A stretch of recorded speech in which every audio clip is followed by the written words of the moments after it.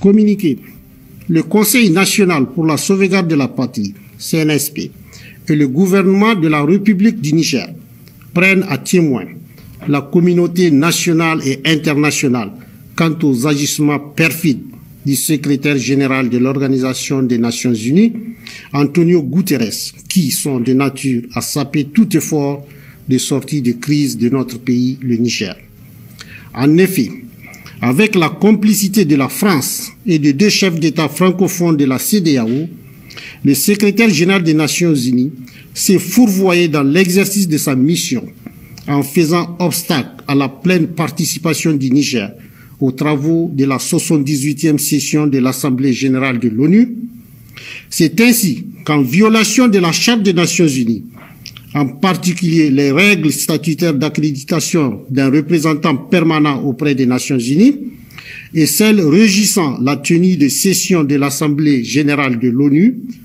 M. Guterres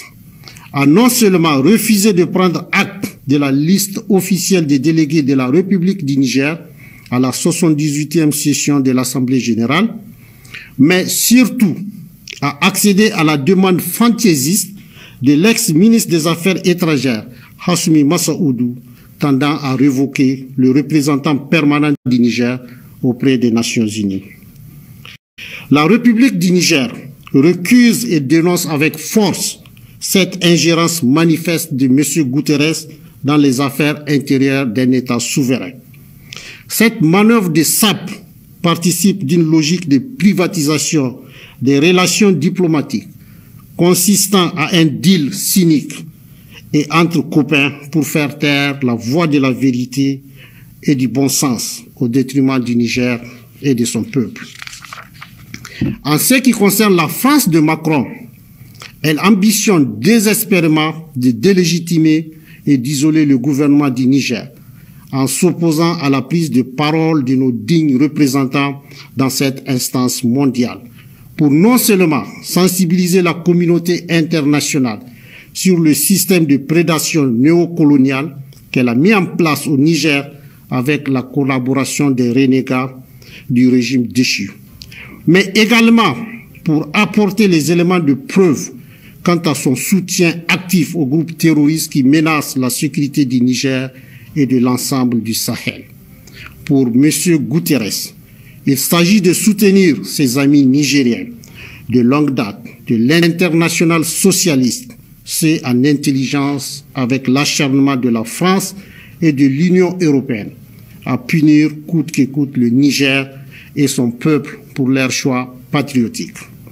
Quant aux deux fugitifs, les ex-ministres Hassoumi Massaoudou et Al-Kash al-Hada, il s'agit de trouver le prétexte et les soutiens au niveau international pour se soustraire à la justice nigérienne, devant laquelle ils devront pourtant impérativement répondre de leurs crimes et des actes de haute trahison commis à l'endroit du Niger et de son peuple.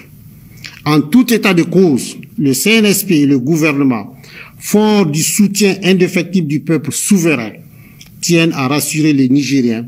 de leur ferme détermination à défendre résolument les intérêts vitaux du Niger. Pourtant, il y a plus grave dans ce que nous venons d'entendre. Le Niger accuse explicitement la France de soutien au terrorisme et le Niger prétend que son représentant, s'il n'avait pas été empêché par le représentant, aurait directement sur la tribune des Nations Unies délivré plusieurs preuves de cette accusation, à savoir que la France soutiendrait activement les terroristes qui ensanglantent le Sahel, qui ensanglantent le Niger. Je voudrais ici souligner l'incongruité et le scandale qui consiste pour une presse à ne pas rendre compte de tous les aspects et bien de la gravité d'un conflit politique. Et je voudrais me demander pourquoi on décide de ne pas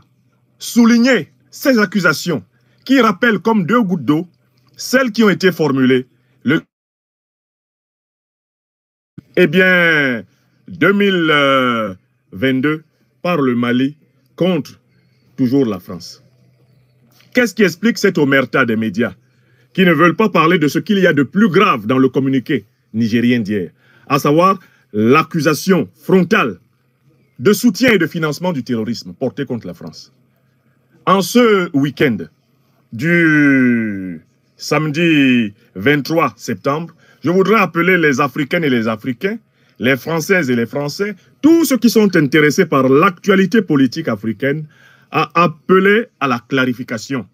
de ces accusations qui, au fil des ans, sont de plus en plus nombreuses et toujours aussi scandaleuses et insupportables. Il faut que toute la vérité, il faut que la vérité soit sûre sur, eh bien, l'action de l'armée française au Sahel.